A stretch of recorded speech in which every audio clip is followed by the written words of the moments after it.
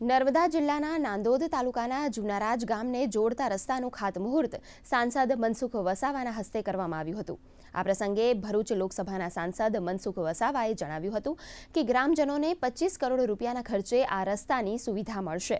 જુનારાજ ગામના ગ્રામજનોને આઝાદી બાદ પ્રથમવાર ડામરના પાકા રસ્તાની સુવિધા મળવાની હોવાથી ગ્રામજનો ખુશખુશાલ હતા. ગ્રામજનોના જણાવ્યા મુજબ અગાઉ મેટલ રોડ બનાવ્યો હતો, પરંતુ તે ચોમાસાના પાણીમાં ધોવાઈ જતો હતો. એમાં ફુલસરીથી કંજાલનો રસ્તો અને બીજો જીતગઢથી જુનારાજનો રસ્તો. આ રિઝર્વ ફોરેસ્ટના સેન્ચુરી એરિયામાં આવેલા ગામો છે. કે જે એરિયાની અંદર રોડ રસ્તા બનાવવા માટે પ્રતિબંધ છે. છતાં પણ ભારતીય જનતા પાર્ટીની સરકાર રાજ્યને દેશમાં આવ્યા પછી આવા રિઝર્વ ફોરેસ્ટમાં આવતા રોડ રસ્તા કે વિકાસના કામોની મંજૂરી લઈને ફોરેસ્ટની મંજૂરી લઈને આવા રસ્તા અમે બનાવી રહ્યા છે રસ્તો બી નહોતો. અમે તો નાવડીમાં આવતા હતા. અને ત્યાર પછી મનસુખભાઈ વસવા સાહેબને રજૂઆત કરી.